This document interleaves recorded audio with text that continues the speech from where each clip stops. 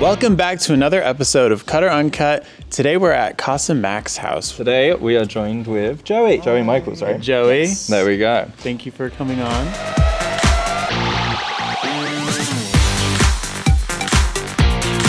Yes, thank you for having me. We met you yesterday. I met you at the Gavians briefly. I took your photo, which you got finally. yes, I finally great. got. Thank you. Did you fly in? I drove in with a couple of other creators from Phoenix. Cool. I'm from Phoenix, Arizona. Born and raised I was born in Kansas. in Kansas. Yes. Wow. Ah, I've been to Kansas a couple of times. So you live in Phoenix now. Yes. How do you find that? I like it. I'm not going to stay there forever. I know that. Yeah. Yeah. Eventually, I plan to move out here in Nevada. Vegas? Yes. Yeah. All right, guys. It's hot. Can you tell? No. it's It's a little getting chilly, but I think we should take our shirts off. Yeah, I'm. I'm down. down? Yeah. What got you into OnlyFans and how long have you been doing it? I started making solo content when I like first turned 18 and I've only done my first collab of July of last year. So I've only been working with other people for a short period of time. I just was like really like fascinated when I was like with it when I was younger and that's why I started doing it because I was like wouldn't that be cool like if I was like actually successful at it. Obviously I like didn't really have super high expectations but I'm very happy to be where I am now. Yeah, cool. What got you into it? You just saw it and thought, Yeah, I literally saw it and like it was like right before the pandemic, so like some people were talking about it. I wanted to like feel more confident in myself, you know, and I was like, this seems like a good idea. Just put it all out there. everything. Everything. I mean, it helps. Yes, it does. does, It does. yeah. It kind of breaks that down that like first barrier of Yeah. like I guess like nervousness with your like own body or something like that, you know. We started OnlyFans back in what October now. October. So we're new kids on the block. It was just us. Yeah, we did just us until January. Yeah, and like for me, like I've always been like. I don't know, felt weird being naked like in public or like in settings and stuff. And I always liked the idea of it, but then when the reality sinks in, I'm like, I can't do that. Yeah. And I still am like so shy and I'm like, no, I can't do that. I can't do hmm. that. But with this content, like it definitely helps me with my confidence with that. So I, Yeah. it's totally relatable for me as well. Yeah, exactly. It's all within due time, you know, the baby It'll steps come. it takes Yeah. to, to get there. Yeah. Exactly. What's the most amount of times you've had sex in a day? In a day, probably like nine. And that Okay. was last night. No. this morning. What are you talking about? Nine. Yes, nine. That's a lot. It was the last content trip that I came out here to do. I had so many back to back collabs. And then obviously, chemistry was fire, you guys. Mm-hmm. So, you know, you have to have a little fun on the side sometimes. And then I had this like massive orgy scene at the end of it. And then I went to a cast party after. And everybody at the cast party was like, well, we're tested. so then, of course, there was just more. It was great. Yeah. 10 out of 10 recommend if you guys this is our Any first like, videos? content house. so- really Yeah. it's mine too It is? yeah it's my first content house Oh my god, that's so crazy. We're all virgins. How do you find it? Is it something you'll do again? um uh, yes i am still quite a bit nervous but i've been like slowly warming up today i just think it, that it's just like a lot of new faces even though i am personable when you talk to me i'm still a very shy person so it's a little hard for me to branch out you know but everybody's been lovely everybody's so hot Everybody's got more cake than I've ever seen in one house. okay, so it's been it's been good. I've never been in an environment where everyone's comfortable to walk around naked either. So this is like breaking so many barriers. I was about to say, girl, me too. I was like standing there naked inside the house, and I was like, never done this before. Yeah, there you And go. I'm doing it. Yeah, And loving it. Yes. Look at us. Have you done studio stuff? Yes, I have made about eight studio scenes so far. It's been fun. The first studio that I worked for, I ended up reaching out to them and they were like, yes, absolutely. So that gave me a little bit of confidence. Yeah. And then they absolutely spoiled the shit out of me. So now I have such high standards, which I appreciate because, you know, you need that in the get go, you know, when you're first starting out and all that stuff. Yeah. Which I appreciate them for. So, what's the craziest sexual experience you've ever had? I don't know, because to me, like, all sex is just sex. So, like, I'm like, what counts as crazy? Right. It's just like, what is wild? Because I, j- maybe I'm just a slut or maybe I was just desensitized or something. Uh, you normalize it by doing the crazy. Yeah, yeah, exactly. That's why I'm like, I'm down for whatever. Yeah. I don't know. I okay, this was before I like was really big in content, but like I sucked some dude's dick at a like a gay bar in front of like a lot of people. Okay. I was like so scared to open my eyes. That is crazy. You're just like okay. that was big for me, okay? Yeah. That was like super crazy because it was like a public bar that isn't very far from my house, so that was mm. taking a risk as well. Right. Okay, it was taking that risk Yeah. to be recognized later. But that was, yeah, I guess I would- count that as crazy. I don't know if I could do that. Like I literally, like in the in this house even, I don't think I could go down on someone if there was people around. Yeah, yeah. It's been a bit nerve wracking. I think that's also my issue. That's been my issue with the content house is that I'm so used to making content with a one on one. Yeah, like private. Yeah, still, like- yeah, And like even when it's like group stuff, it's like not the whole damn house, you know? Like Yeah. I totally get where you're coming from. Okay, so we talked about like your craziest sexual experience. Have you got a worst experience? all the time. Yeah.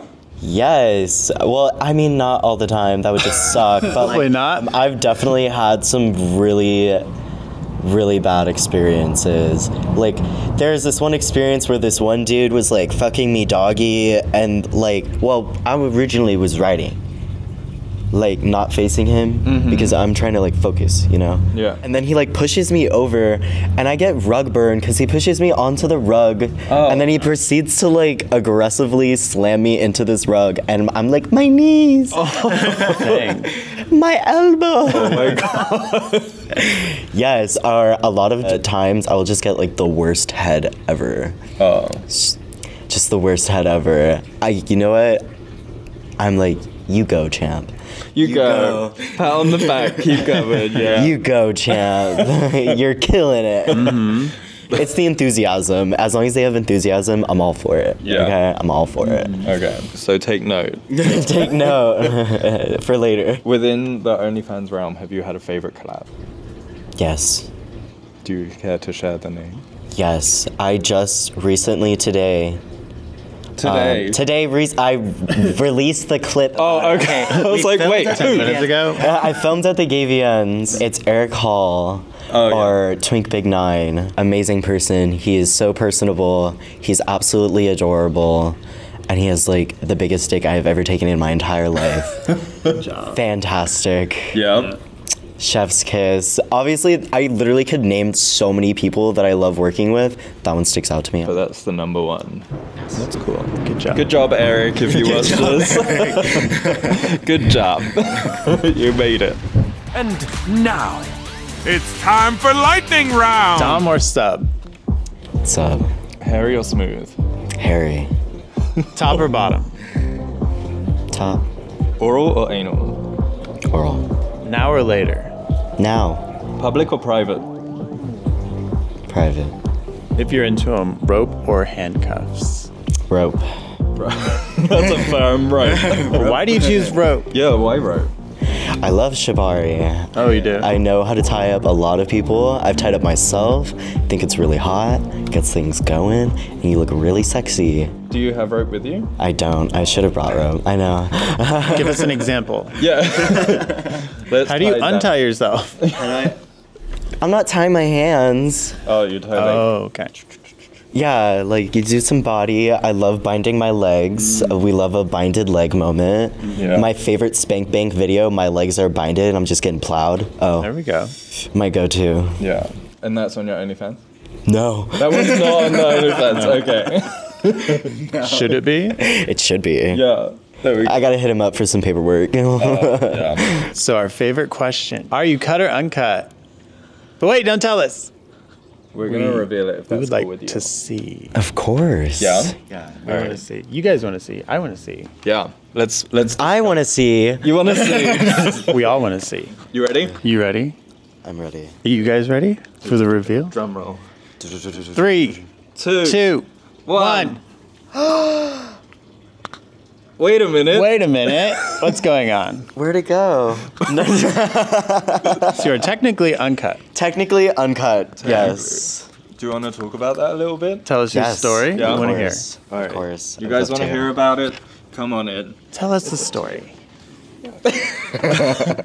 I mean, it'll probably still go on my OnlyFans. My fans would probably love it. Yeah, Yeah. of course. Yeah. Yeah. All right, so tell us when did you know? I feel like I've pretty much known my entire life. I got in trouble a lot for stealing my dad's clothes. Oh, really? Yeah, because I wanted to wear them. I because used to wear my just- mum's heels, so I get it. Yeah, literally. It just seems so much cooler. Right. I'm like, I'm gonna wear it. Yeah. Uh, What's yours is mine now. And then I was watching like cable television and I saw this documentary about trans people and I literally was like so in shock because I was like I can do that. And it like it, it was like something clicked inside of my hmm. brain because I pretty much spent my entire like young childhood like wearing guys clothes and like playing with dudes dolls and like every time I was on a video game like Movie Star Planet mm-hmm. I, I was the dude Oh, yeah? I was on there I was the dude You were the tomboy.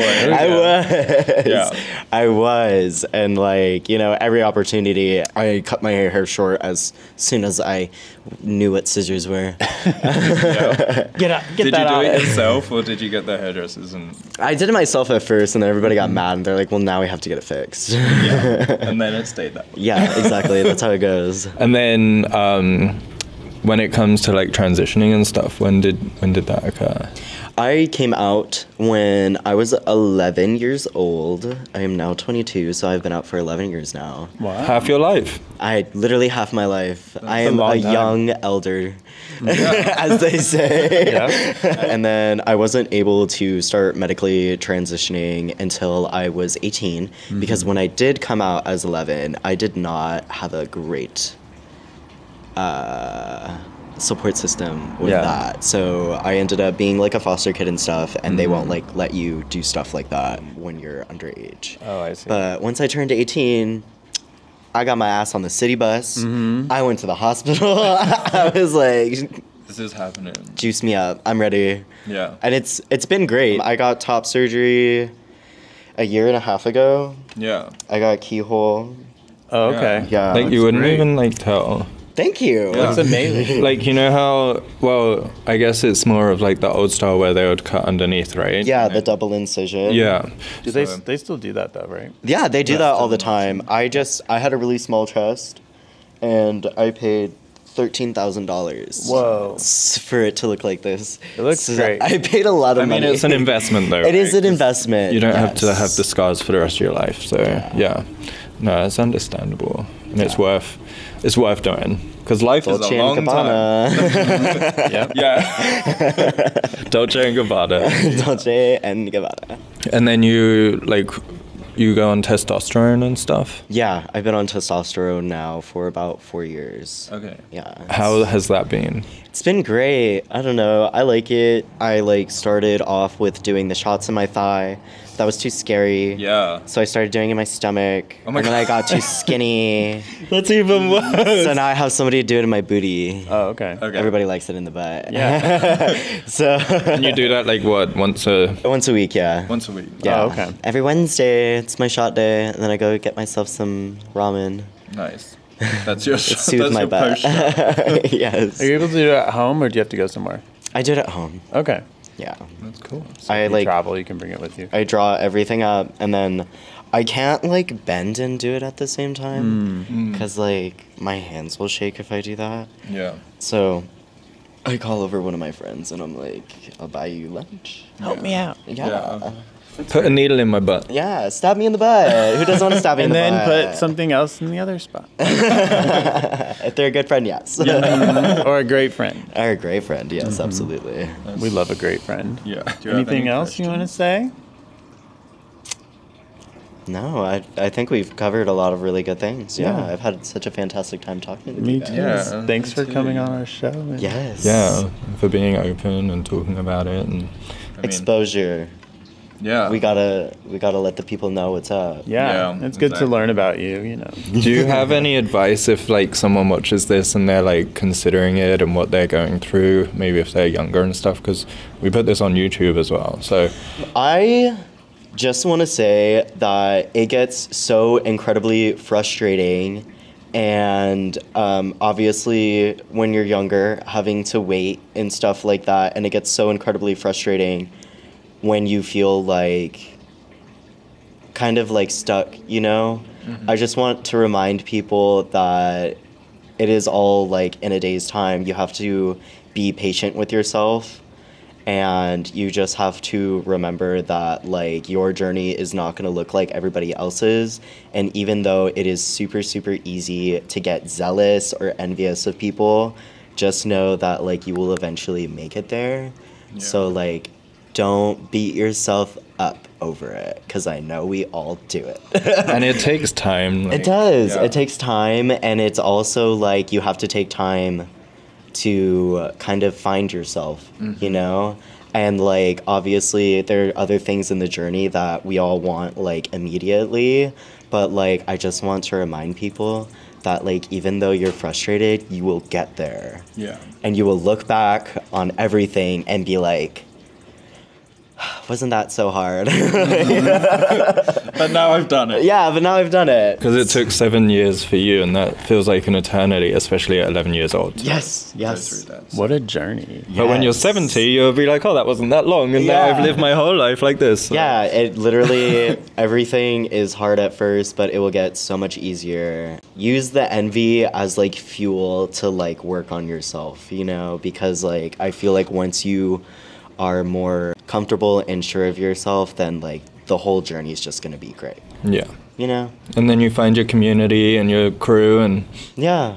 and then it's a bit easier. It's a bit easier, you know. Obviously it's all easier said than done. But Of course. But everything is. Yeah. But it's also said with love. it's not like it's easy. It is not easy. so yeah, everything. I don't know. I saw this thing that was like saying about how going to the gym is hard, but being like super obese is hard. Choose your hard. Oh, yeah. And it's. I feel like that's relevant to like everything. You know, like not having social media but wanting to do OnlyFans is hard. But then the work is just as hard. But you got to choose your hard. Yeah, exactly. yeah. It's uh, honestly what you put your energy into. That's another thing too. Like people are gonna hate on you all the time. I get hundreds and hundreds of hate comments all the time, no matter what video I'm in. And like at the end of the day, you just gotta like live your truth and know that like you are a representation. And like as long as you're still slaying, you're still slaying. Yeah. Yeah. You know, it doesn't matter what people think. And hate comes from like a place of jealousy. I've discovered. Yeah, or like jealous or- fear. Yeah, fear and, And it's like, okay, pussy, like get over it. What are you scared of? yeah. I'm gonna come into your room at night, like, please. Exactly. Yeah, perfect. All right. Well, thank you for being on our show today. Yeah, thank you. Thank you so much for having great me, you having you. guys. Mm. We're all like freezing cold out here, but we're all gonna hug and be like, ah, cold hands. So be sure to check out your channel. We'll link it down below. Also, thank you, Casa Maxxx, for having us. Yes, and thank you, Casa Maxxx. all these wonderful hot guys that are here. It's Yeah. awesome. We love it. and we will see you in the next episode. We might hear you in one of the background vocals.